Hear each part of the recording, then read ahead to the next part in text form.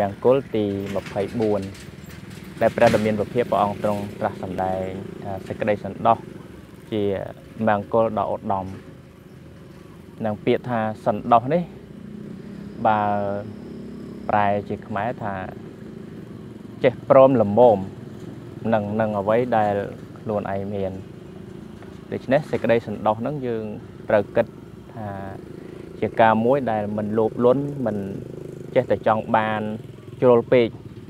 ហ្នឹងហើយគឺថាមនុស្សខ្លះមានដែរប៉ុន្តែ វានៅតែមានសេចក្តីប្រាថ្នាមិនចេះគ្រប់ណាអាហ្នឹងគឺថាគ្មាននៅសេចក្តីសន្តោសហើយអញ្ចឹងសេចក្តីសន្តោសហ្នឹងគឺថាបើបុគ្គលណាមានគឺកាត់បន្ថយនៅភាពលមុខលោភលន់ឬក៏ចោរកម្មអីច្រើនបានដែរការពារបានច្រើន តែបើថាមាននៅការលោភលន់ច្រើនគ្មានសេចក្តីសន្តោសទេក៏វាមាន ភាពមហន្តរាយច្រើនហើយបព្វជិតក៏អញ្ចឹងដែរបើគ្មានសេចក្តីសន្តោសនៅក្នុងជីវរនៅក្នុងអាហារបិណ្ឌបាតអីទេក៏ប្រព្រឹត្តទៅ នៅក្នុងភាពជាអ្នកចេះតែចង់បានមិនចេះគ្រប់ហ្នឹងហើយសំអីខ្លាំងពេកតើហ្នឹងគឺថាជារឿងមួយសម្រាប់បព្វជិតហើយកុហកក៏អញ្ចឹងដែរបើកាលណាលោភលន់ខ្លាំងมันមាននៅសេចក្តីសន្តោសទេគឺមាននៅមហន្តរាយច្រើនផងដែរហើយនៅក្នុងសេចក្តីសន្តោសហ្នឹងវាមាន3ទី1គេហៅថាយថាលៀបភៈសន្តោស គឺថាចេះសន្តោសទៅក្នុងអឺលៀបរបស់ខ្លួនដែលបានមកប៉ុណ្ណាគឺថាចេះល្មមព្រមទៅថាបើបានជីវរភិក្ខុអីហ្នឹងបើបានជីវរមួយត្រៃហ្នឹងក៏មួយត្រៃហ្នឹងសិនទៅកុំចេះតែចង់បាន2ត្រៃ3ត្រៃអីវាហួសកម្រិតហួសនៃការចង់បានហើយចង្ហាន់បិណ្ឌបាតបើគេប្រគេនមកល្មមឆាន់ក៏គួរឆាន់ហើយមកល្មមអញ្ចឹងទៅកុំចេះតែប្រាថ្នាពេកវាមិនកើតអាហ្នឹងនិយាយខាងបបចិត្តហើយខាងកុហកក៏អញ្ចឹងដែរបើមានឡានមានលុយមាន ដីឡូរាប់ហាត់តាឲ្យយើងត្រូវចេះល្មមព្រមផងដែរកុំឲ្យទៅអាសេចក្តីលោភលន់ហ្នឹងវាបញ្ជាយើងខ្លាំងពេកគឺថាអត់ចេះសន្តោសព្រោះវាជារឿងមួយគួរឲ្យពិបាកដែរនៅក្នុងជីវិតរស់នៅប្រចាំថ្ងៃណាអញ្ចឹងបានថាត្រូវចេះល្មមព្រមនឹងលៀបដែលខ្លួនឯងមានបណ្ណាគឺថាចាយវាយទៅតាមនឹងទៅកុំឲ្យចេះទៅលោភលន់ហួសពេកណាហើយមួយទៀតនឹងព្រះអង្គទ្រង់សម្ដែងថា នឹងយៈថាពលៈសន្តោសគឺសន្តោសទៅតាមកម្លាំងហ្នឹងមានន័យថាបើយើង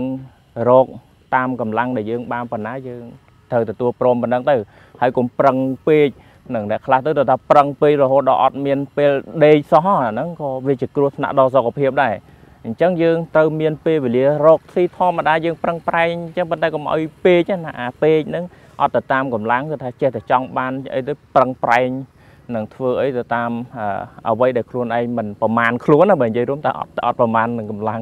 ខ្លួនអាហ្នឹងក៏វាពិបាកដែរហ្នឹងហើយមួយទៀតណាទី3នោះគឺថាយថារូបសន្តោសគឺសន្តោសទៅតាមគុណធម៌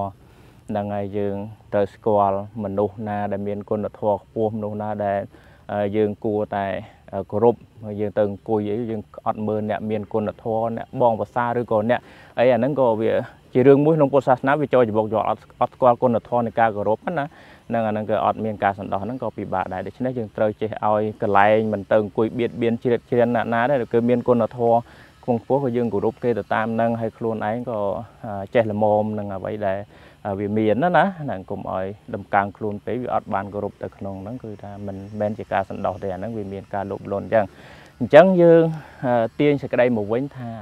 សេចក្តីសន្តោសដែលនាំឲ្យកើតមង្គលហ្នឹងវាវាមានផលប្រយោជន៍អីខ្លះសម្រាប់ការដែលយើងសន្តោសដោយព្រះសម្មាសម្ពុទ្ធថាត្រូវចេះសន្តោសបើយើងគិតទៅគឺអ្នកដែលមានសេចក្តីសន្តោសហ្នឹងគឺល្អតែម្ដងមិនលោភលន់ហួសពេកអញ្ចឹងទៅគឺថាការពារនៅ នៅអាភាពលោភលន់ហើយការពារនៅភាពខូខើទៅអ្នកខ្លះលោភលន់ខ្លាំងរហូតដល់បំផ្លាញមានបំផ្លាញសង្គមបំផ្លាញគេឯងឲ្យគេអឺខាតឲ្យគេធ្វើអីគឺថាដើម្បីតែខ្លួនឯងមហិច្ឆតាខ្លួនឯងដោយមិនមានសេចក្តីសន្តោសអាចទៅសម្លាប់គេដើម្បីផ្ដួលគូប្រជែងអីចឹងទៅក៏មានដែរ រឿងហ្នឹងវាមានច្រើនណាស់ដែលអាត្មាភាពមិនចង់និយាយក្នុងសង្គមឲ្យច្រើនអំពីរបៀបហ្នឹងតែបើយើងដឹងអំពីភាពនៃលូតលួនដែលខ្វះនៅការសន្តោសហ្នឹងវាមានច្រើនអញ្ចឹងយើងគួរពិចារណាមើលអាមិនសន្តោសហ្នឹងគឺថាជាការដែលមិនល្មមព្រមនឹងមនុស្សយើងគឺបង្កើននៅមហន្តរាយចឹងដូចបើនិយាយអំពីផលប្រយោជន៍នៃការដែលសន្តោសហ្នឹងគឺថាបានច្រើនបើពិខុសង្ឃវាលោកឆាន់ប៉ុណ្ណាញាតិញោមប្រគេនប៉ុណ្ណាលោកឆាន់ប៉ុណ្ណឹងមានជីវរប៉ុណ្ណាលោកប្រើប្រាស់ប៉ុណ្ណឹងគឺបាចលមិនមាន វឹកវរបញ្ហាចោរកម្មអីទេវាការពារបានសេចក្តីសុខបានច្រើននេះគឺជាផលប្រយោជន៍ហើយនាំមកមង្គលរៀងរៀងខ្លួនឲ្យតែបុគ្គលណាចេះសន្តោសនៅក្នុងជីវិតប្រចាំថ្ងៃហ្នឹងអញ្ចឹងសូមប្រកាសណាគុណចាស់ញាតិញោមពុទ្ធបរិស័ទជ្រះថ្លាអនុមោទនា